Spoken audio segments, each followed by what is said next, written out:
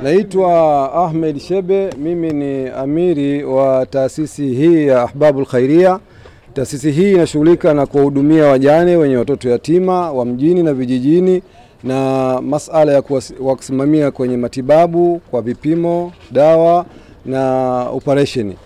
E, leo tunashukuru dada yetu Joket kakumbuka na katuona tuna umuhimu wa kushirikiana naye katika mwezi huu mtukufu wa Ramadhani tukijiandaa na sikukuu yetu ya Idi.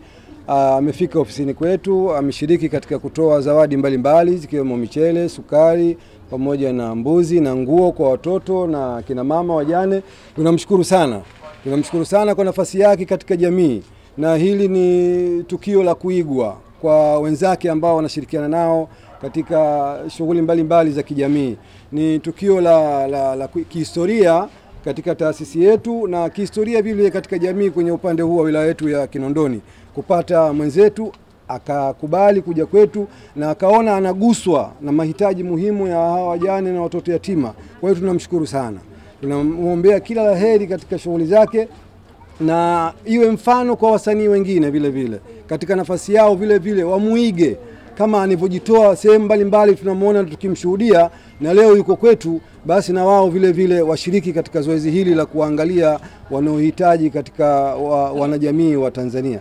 Kwa hiyo niseme nawashukuru sana, nawashukuru sana wasanii wote pamoja na yeye leo kutukumbuka kuja kwetu, na tunamshukuru sana, tunamwombea kila la heri. Mwenyezi Mungu ambariki katika shughuli zake za kila siku. Wassalamu alaikum warahmatullahi wabarakatuh. Ah, kwa jina naitwa Juma Chikoka lakini wengi wanapenda kuniita Chopa Mchopanga na majina mengi sana, lakini kikubwa ni mwezi unakaribia kuisha, mwezi unaondoka, lakini sikukuu hiyo hapo inakaribia, na kwa yoyote ambaye Mwenyezi Mungu amekujalia kidogo, dini inasema kwamba hicho kidogo unachojaliwa basi wapatie na wenzie wenye mahitaji.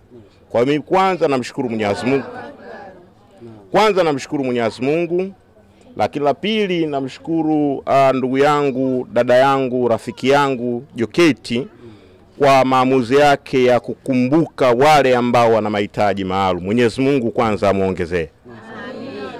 Lakini vile vile na naomba niwakumbushe wenzetu wa Tanzania wenzetu ambao wanajaliwa kipindi hiki wasiwasahau wale ambao wana mahitaji ni ndugu zetu, ni Watanzania wenzetu, ni marafiki zetu, ni mama zetu, ni dada zetu, ni wanetu, ni wadogo zetu. Lazima tuwakumbuke pale Mwenyezi Mungu anapotujalia kidogo tulichokuwa nacho.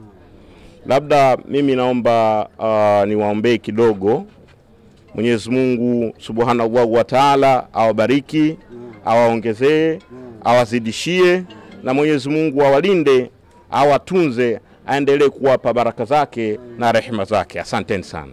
Okay, um, nianze kwa kujitambulisha, naitwa Jokate Urban Mwegelo na leo hii um, nimekuja kwa kofia mbili. Kwanza kabisa nimekuja kama Mtanzania mwenzenu, mtoto um, wenu dada yenu ambaye naguswa na changamoto mbalimbali mbali ambazo Watanzania wenzangu wanakumbana nazo. Kwa hiyo nimekuja kutoa faraja, lakini vile vile nakuja hapa kuwakilisha umoja wa vijana wa CCM kwa sababu mimi kule pia ni kiongozi um, kaimu katibu hama, uhamasishaji na chipukizi taifa UVCCM.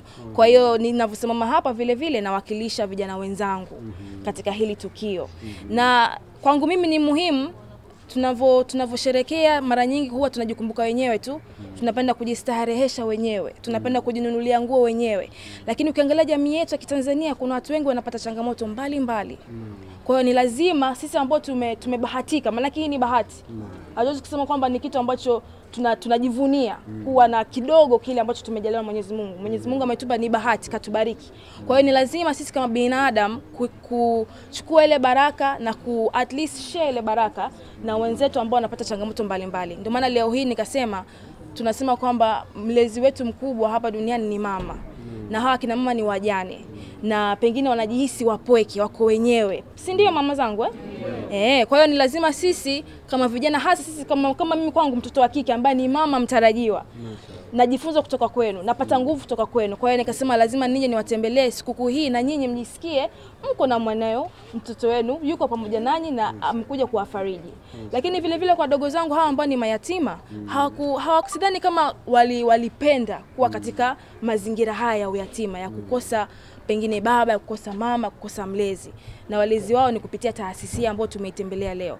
Kwa hiyo na wao pia wapate faraja kama watoto, kama taifa la leo na la kesho. Kwa hiyo kwa hayo machache niseme tu tunawashukuru sana, tunawashukuru sana ndugu waandishi wa habari. Kama tulivyotangulia kusema kwamba tumewaletea kilo mia mbili hamsini za mchele, unga, sukari, uh, galoni kumi za mafuta, mbuzi wawili. Vile vile kwa sababu ni sikukuu, tukasema tuwaletee nguo mpendeze, mtoke mashallah Takbir. kwenye sikukuu hii ya Eid kwa mwaka huu 2017. Kwa hiyo tunaomba sana kwa heshima na taadhima mpokee kile kidogo ambacho tumewaletea leo. Sio kingi, lakini wanasema kutoa ni nini? Kutoa ni moyo, na sisi tumeonyesha na sio utajiri kweli. Kile kidogo ambacho tunacho tunagawana na wenzetu. Kwa hiyo tunaomba sana mpokee iwe kama ni dua sasa, mm. iwe kama ni dua tu, tuzidi kuombeana heri katika harakati zetu, mm. ili tuzidi kuneemeshana kwa kile kidogo ambacho tutaendelea kukipata.